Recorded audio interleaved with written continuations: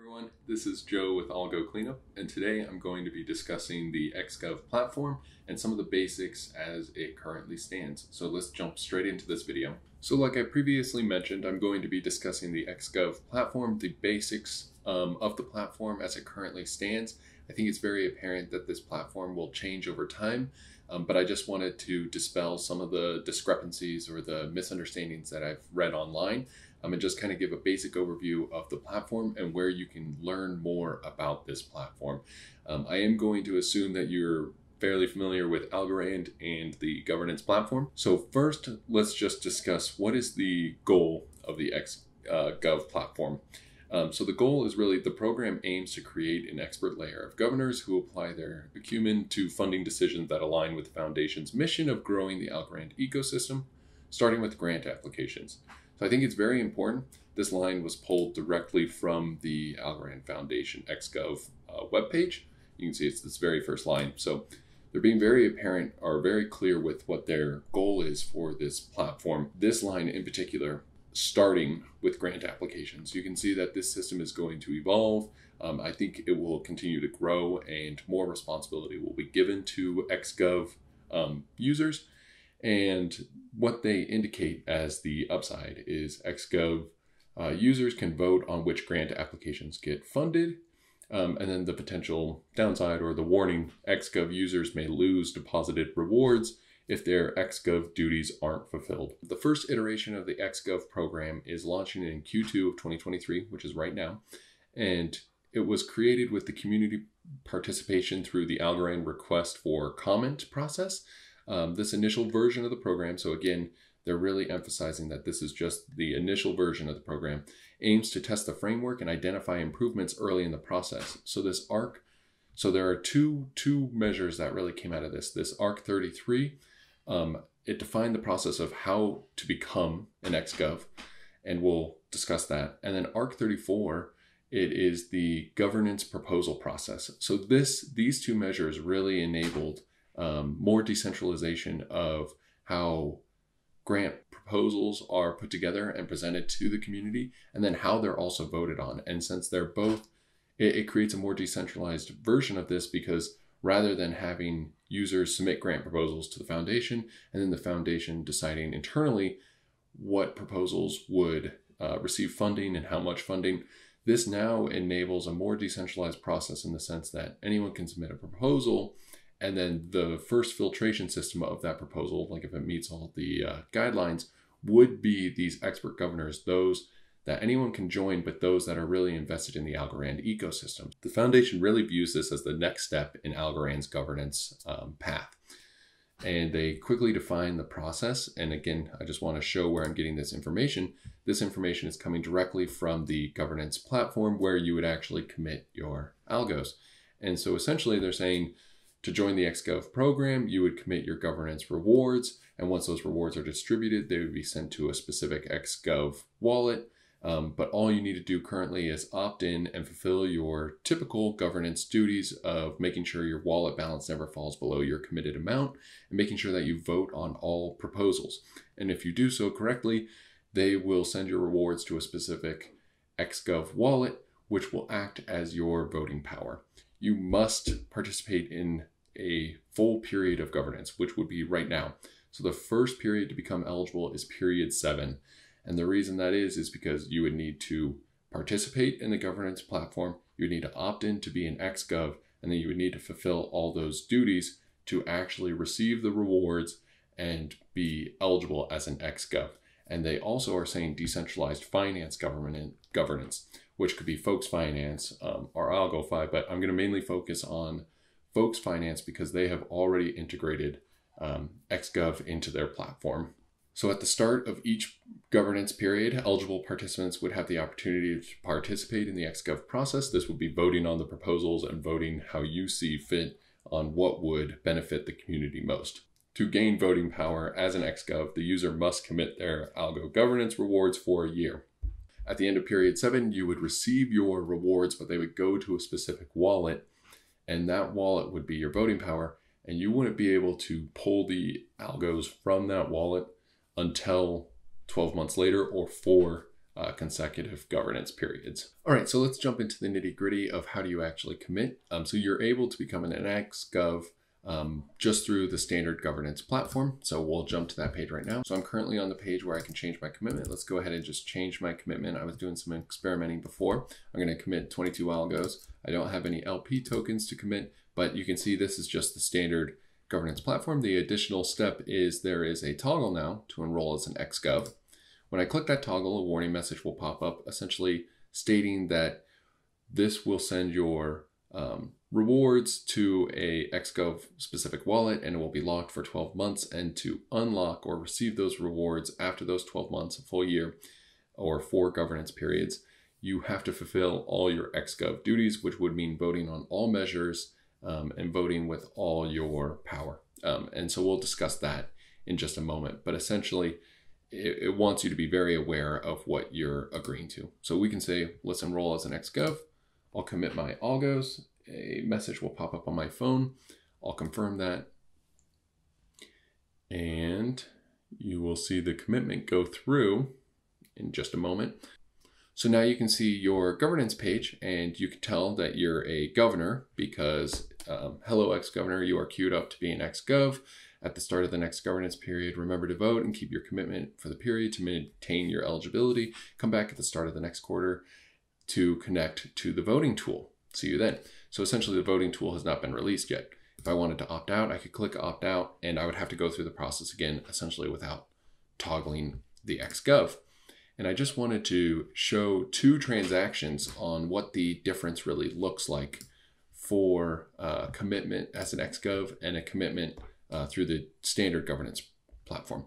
So this transaction, you can see when I committed through my wallet, I committed one algo and it's very straightforward, just essentially saying I'm committed for this governance period for one algo. But when you look at the transaction for one where I'm opted in as an XGov, you can see there is a beneficiary wallet. And so that beneficiary wallet is the wallet that would act as my um, XGov wallet. Next, I'm going to show you how to commit to be an XGov through Folks Finance. Um, and I was really impressed with Folks Finance to already have this capability built into their platform um, before the really before we saw any of these details. Um, so I was very impressed. It's a very simple process. And what's great is you can still participate through Folks Finance in their liquid governance. You can still commit your algo and receive G algo back in a one to one ratio. And you commit to be an X uh, Gov. And nothing has really changed. The only difference is they don't offer early claim anymore. And so you can see right here on this bullet point, due to the change in design, early claim in gALGO will no longer be available. Community polls were taken across multiple social media engagements and platforms, and participants showed an overwhelming support of XGov integration over early claim features utility, which I full heartedly agree with. Um, but I just, I love that there is so much transparency throughout the Algorand ecosystem. We'll go to Folks Finance, um, and I'm already here on this page. So you can see when we go to the Algo Liquid Governance page, I can, with that same wallet, I can say, let's go ahead and commit. And you'll see the screen will pop up do you want to be an XGov? I can say, yes, I want to be an XGov. And again, you can see these are similar warning messages that we received when we committed through the uh, standard platform. Essentially, they want to make sure that you're aware of everything that an XGov and their duties entail. So I'll click confirm. We can say we want to commit 12 algo. And right now, since we're during, it's during the um, uh, redeem period where you can redeem gALGO for Algo. I won't actually receive any gALGO right now during this specific period, but essentially I would make the commitment and they would inform the foundation through my commitment that yes, they also elected to be an ex-gov and any rewards I would receive from doing this would actually go to my XGov wallet. So pretty awesome stuff. And um, I'm making a bit of an assumption here, but I actually assume I could elect to be an ex-gov through Folks Finance, and the foundation would send that those rewards specifically to my XGov wallet, and then through the standard platform, I could elect not to be an XGov and still receive my governance rewards, which is really interesting. So um, I'm still looking for more details. I haven't officially seen that confirmed by an official source. Step two of the XGov um, process is to review a short list of grant applications. So these grant applications can be created by the community members um, through the Algorand request for comment process. The initial version of the program aims to test the framework and identify improvements early in the process. Um, and so you can see this ARC 34, this governance proposal process is really well defined. And again, all these sources will be linked um, in the description of this video. And so the life of the proposal, anyone can submit a proposal at any time, half a month after the start of the governance period, proposal submitted, enter the process of review. One month is allocated to the proposal refinement. Proposals will be evaluated and refined by the community and XGovs. One month is allocated for voting on proposals the community will vote on proposals that have passed the refinement and temperature, temperature check stage. So step three will be voting. Um, since the first voting process will be in period eight, once we actually have some XGovs, um, those that opted into the to the program actually completed the governance um, requirements, you know, never fell below their commitment and voted on all the measures, and their rewards are sent to their XGov wallet.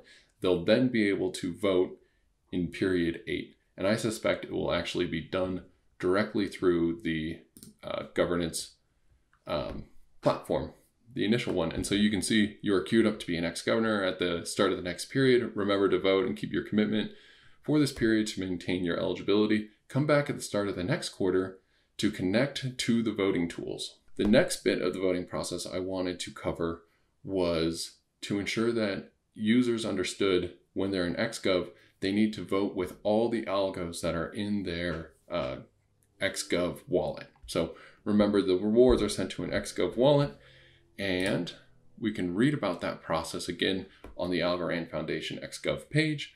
Essentially, Alice signs up. During the sign up process, she fulfills all her duties as a uh, governor in period seven. At the start of governance period eight, Alice is eligible to receive 50 algos um, and they're deposited into her XGov Term 1 address. Um, and I think it's really important that we start using the vernacular that the foundation is putting forward. So an XGov term is that 12 month period. So period 8, 9, 10, and 11 will be the periods that you need to participate as an XGov and vote on all the measures to receive those 50 algos. Alice receives her 50 voting credits. The voting credits renew at each voting session. So those are the subsequent periods. Um, XGov Term 1 first voting session opens and Alice used 50 votes across three proposals. So what they're describing here, we can go to the ARC33 uh, page, becoming an XGov, and we can see under the duty of an XGov, they have to vote with all their algos. So for a 100 algo commitment, 100 votes are available and they can be spent like this. 50 on proposal A, 20 on proposal B, 30 on proposal C, and then zero on every other proposal. This is really important because you must, as an XGov, use all algos that are available to you and vote on all measures. So that's what they mean by the 50 voting credits. XGov Term 1 first voting session opens and Alice uses 50 votes across three proposals. That's what they mean by that. Alice has done her XGov duty for voting sessions and waits for the next voting session to open. During this time, Alice reviews new proposals on GitHub. XGov Term 1 second voting session opens and Alice is Alice uses her 50 votes across seven proposals. XGov Term 1 voting set uh, has four voting sessions in total, and Alice performs her XGov duties perfectly. So she votes as an ex-governor, as an expert governor across all um, the different periods and uses all 50 voting credits. At the end of XGov Term 1, Alice withdraws her rewards from her XGov address. Alice understands that if she didn't do her XGov duties, she would have lost the 50 algo reward deposited in the XGov Term 1 contract. Bob and 10 other XGovs didn't fulfill their XGov duties, and 1,000 algos were left in the XGov term pool. Therefore, Alice has also received her share of the forfeited pool. So that's one additional benefit potentially you could view it as is your APR could um, potentially increase as ex-governors fell out or became ineligible or disqualified. And then that step four is to receive. Um, if you were to be disqualified, you would forfeit your ex-gov rewards, which are the rewards you received from governance period seven. But those are also the same um, rewards that enable you to have your voting power as an expert governor. And then it's also worth noting that the XGov process will not utilize tokens or NFTs. There will be no minimum or maximum amount of algo required to participate in the XGov process. In the future, the possibility of node operation being considered as a form of participation and eligibility is being explored, and no funds to leave the and no funds need to leave the user's wallet in order to become an XGov. So I hope this video helped make the XGov platform a little less um, confusing, help share some of the really important resources and where you can learn more. Um, and this is just really the first step, but it's a great step towards decentralization and how uh, the Algorand ecosystem funding um, can be more aligned with what the community wants rather than having it centralized with the foundation. So it's a fantastic step. I've been very impressed with the foundation and very impressed with the community rallying around it. I mean, Folks Finance already integrating it directly into their platform. So it's a really exciting time for Algorand.